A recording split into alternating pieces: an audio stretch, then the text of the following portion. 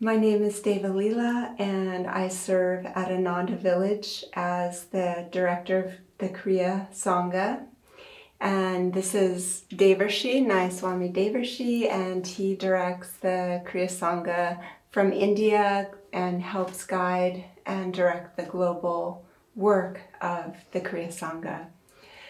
We're here to talk about a new book, Kriya Yoga, and how Kriya Yoga works in our lives, why it's such a sacred technique, and how it can transform your entire spiritual life. I'd like to start with a question uh, about Kriya Yoga and this book. Who is this book for? This book is for anybody interested in, in learning more about Kriya Yoga, but it's really for anyone interested in learning how to grow spiritually and how to develop spiritually.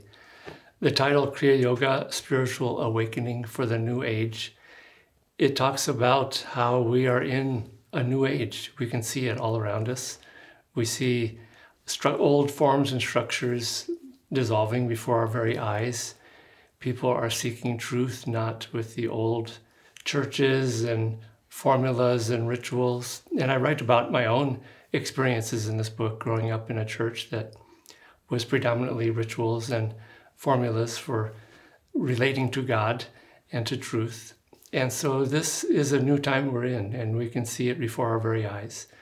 Uh, Paramhansa Yogananda, author, uh, author of Autobiography of a Yogi, he talked about this, that we are in an age of awakening energy. It's an ascending cycle of energy.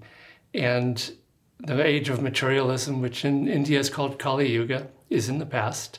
That time is gone, and we're now in a new ascending age where energy is increasing, people's awareness of energy is increasing. And so it's time for something new and different in terms of how we develop spiritually. And so this book addresses that. And it's really for all seekers everywhere. In the book, I talk about, in terms of just religious or spiritual seeking, where studies are showing that many, many people are leaving the churches and they're looking for truth in other ways. And people who are running all the big churches are a little bit alarmed by this.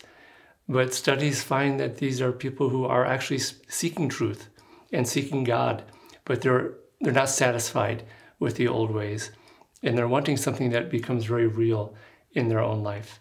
And this is what Yogananda said. He said there would be a revolution in the churches, and that the revolution would be because people want, as he put it, the direct experience of God themselves, not with a priest or a pujari, as they're called in India, being the intermediary between us and the divine, but a direct perception of truth in our in meditation especially, but also in every part of our life. It's not you know, Kriya Yoga is not just a technique, it's a whole way of life.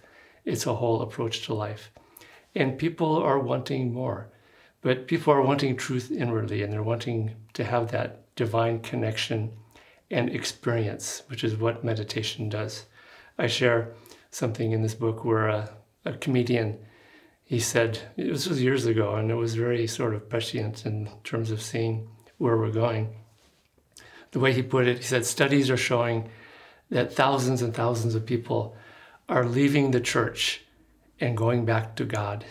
And this is just a funny way of pointing out that they weren't finding God in the church and they still want that. They're not leaving religion or spirituality. They're in fact going to wanting the direct experience of that.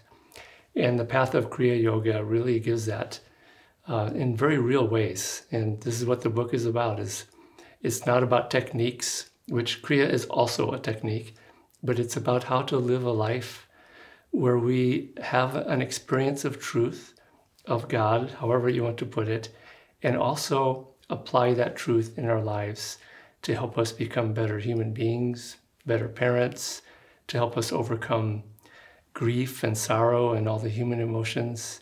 And so this book is especially about how we can work with just the realities of life and bring the divine experience that we have, that perception in meditation, and bring it and apply it in daily life. So it's for everybody.